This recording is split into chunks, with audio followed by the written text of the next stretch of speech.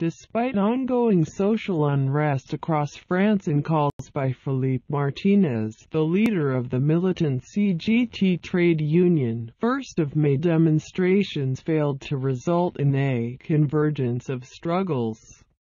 The Paris march was marred by violence. Violent clashes assembling in front of the Paris main demonstration over 1,000 youths with black jackets and face masks took to the head of the march shouting slogans such as Rise Up, Paris, and Everyone Hates the Police. Some carried placards with the anarchist symbol and banners with references to the far-left Black Bloc protesters who regularly clash with police at international summits. Along the route of the march they looted and set fire to a McDonald's restaurant and also torched a car, a mechanical digger and a scooter. The police used tear gas and a water cannon to try to disperse them. At least two people were arrested over the unrest, which comes at a time of heightened tensions over President Emmanuel Macron's reform of the public sector. Macron makes us mad. Read of banner held by one masked demonstrator. Interior Minister Gerard Collomb condemned the violence. Everything is being done to end this serious disturbance to the peace and find those responsible for these unspeakable acts, he tweeted.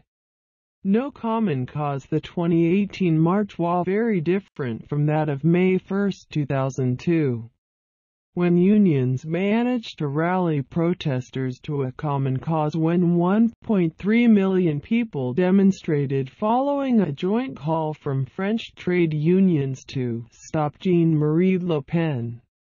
No such a common cause exits at the moment.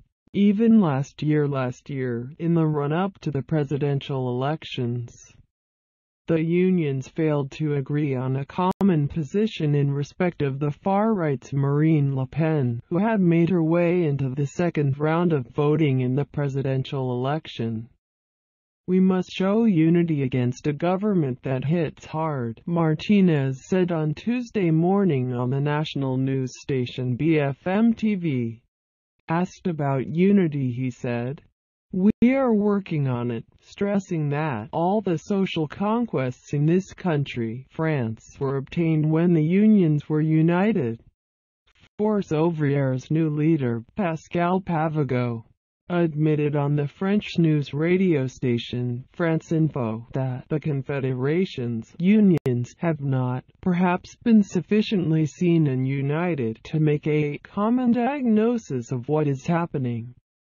National demonstrations in all. The CGT called for 240 demonstrations or rallies across the country under an umbrella call to action that goes against the questioning of the social progress, against the selection for university, for the social progress, the peace, the international solidarity, the Paris 1st of May 1st, organized with a number of other unions, the FO, FSU, Solidaires and UNEF, left Place de la Bastille in the east of Paris in the early afternoon and headed south in the direction Place d'Italie. In the regions, Eric Beynel, spokesperson for the union Solidaires, said he expected greater union unity in some cities with the presence of the CFDT on the marches. In the capital, the had previously warned against the infiltration of the march by extremist groups looking to turn the event into a great revolutionary meeting. Last year, Nearly 142,000 people protested in Paris according to the police, during which six policemen were injured, one seriously by a Molotov cocktail.